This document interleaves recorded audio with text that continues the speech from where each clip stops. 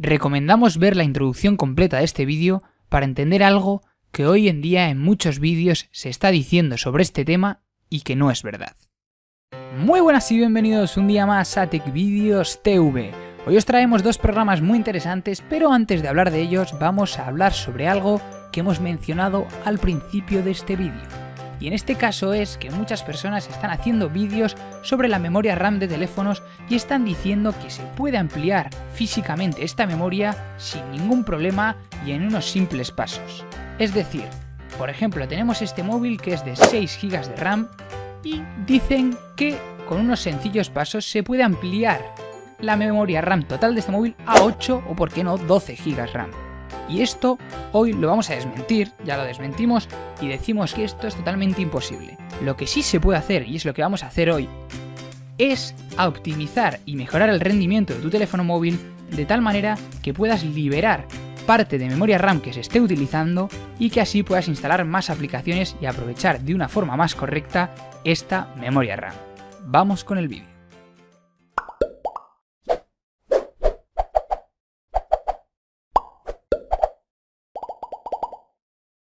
Muy bien, como veis estamos aquí en el menú de bienvenida de nuestro teléfono móvil. Como veis vamos a utilizar estos dos programas o aplicaciones que veis en la pantalla que son totalmente gratuitos y podéis acceder a ellos desde la Play Store. No obstante también os vamos a dejar el enlace de descarga en la descripción de este vídeo. Vale, vamos a abrir esta primera aplicación, la abrimos y vemos que pone un mensaje, le damos a OK y se nos abre una cantidad de aplicaciones con un tick. En caso de que no las tengáis con un tick, tenéis que marcar todas excepto esta última. Es importante decir que como veis aquí arriba marca 3229 megas, ese es el espacio que tenemos todavía libre de nuestra memoria RAM. Estas aplicaciones, ¿por qué están aquí? Estas aplicaciones en realidad son las aplicaciones que nuestro teléfono móvil está corriendo, está utilizando y están ocupando memoria RAM que en muchos casos será innecesaria. Por lo tanto, vamos a marcar todas, no tengáis ningún problema, no os va a borrar el caché ni información de, la, de las aplicaciones, pero eso sí, marcar todas. Le dais a Boost Kill y como veis, la memoria eh, disponible de arriba ha cambiado y ha subido a 3488 megas, es decir, ha subido una cantidad pues bastante notoria. Vale, ahora cerramos esta aplicación y una cosa que es importante que sepáis es que aquí arriba si os fijáis, aparece todavía la pestaña de la aplicación que está abierta. Si esto os molesta y lo queréis quitar, es muy sencillo. Consiste simplemente en abrirla, arriba los tres puntitos, settings o ajustes y desmarcar o quitar el tick de estas dos pestañas que vamos a decir. Aquí donde pone Show Notification le damos y abajo del todo quitamos la de Auto Kill Notice.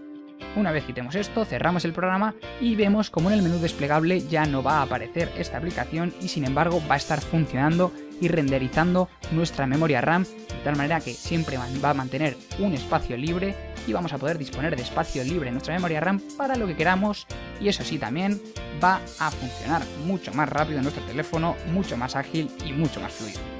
Vale, esta aplicación la podemos quitar ya y vamos con la segunda. La segunda aplicación la verdad es que no podemos hacer diferencias con la primera porque son completamente buenas las dos y aconsejables por nuestra parte al menos. Abrimos esta segunda aplicación y como veis pues también es un menú que es bastante intuitivo. En este caso primero le damos a Settings y donde pone RAM Boosting Levels pinchamos y ¿qué quiere decir esto? Normal, Strong o Extreme. Normal quiere decir que va a renderizar o va a ahorrar o liberar eh, memoria RAM digamos de una forma pues bastante eh, normal, ni mucha ni poco, va a mantener una memoria RAM eh, libre de una forma pues adecuada y en el caso de Extreme pues va a intentar liberar el máximo de memoria RAM posible. En este caso lo vamos a poner normal ya que es el apartado más aconsejable y le damos a Buster. Aquí como veis nos aparece pues una serie de datos que nos pone que memoria libre RAM tenemos ahora mismo pues 3,250 248 megas, usada 2,522 megas y el total de RAM pues es la suma de las dos, ¿no? Que es 5,774 megas de RAM total. Vale, lo que queremos es liberar más RAM para poder utilizar. Pues en este caso le vais a dar a Boost y aquí nos dice que vamos a hacer un proceso normal, es decir, va a hacer una renderización normal de lo que es el teléfono móvil, le damos otra vez a Bost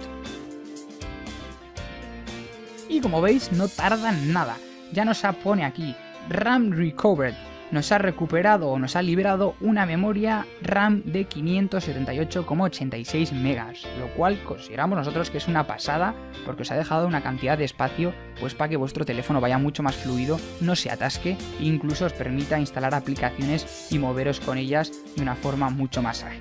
Vale, luego también pone caché, eh, bueno, eh, caché que ha, que ha borrado en este caso son 2,53 gigas, lo cual también pues nos va a beneficiar en muchos aspectos.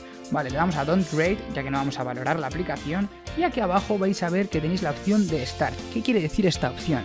Pues esta opción es muy simple, lo que consiste es en que ahora cuando cerremos la aplicación, si le dieseis a Start, vais a poder mantener la aplicación funcionando de forma continua, es decir, vais a poder estar en cualquier otra red social o donde queráis y esta aplicación va a estar eh, trabajando de forma continua, lo que os va a permitir que siempre tengáis memoria RAM libre. Lo malo de esta, de esta opción es que es de pago, creo que cuesta 2,26 eh, euros, pero bueno, la verdad es que si quieres mantener tu móvil eh, pues mucho más fluido y que funcione de una forma mucho más correcta, sí que recomendamos, bueno, eso es de libre voluntad, la verdad, el que lo podáis, eh, lo podáis contratar ese servicio. Pero bueno, nosotros lo dejamos de forma gratuita, ya que así también pues está bastante bien. Y pues bueno, estas son las dos aplicaciones que os traemos hoy, que os enseñamos hoy, pues para mejorar la rentabilidad de vuestro RAM, como ya hemos dicho. Y pues esperamos que os haya gustado, que os sirva, que os sea útil. Y ya sabéis, si os gusta, darle un like, suscribiros para valorar nuestro esfuerzo. Y también podéis eh, comentar si tenéis cualquier duda, lo que sea, estaremos a vuestra disponibilidad. Un saludo y hasta el próximo vídeo.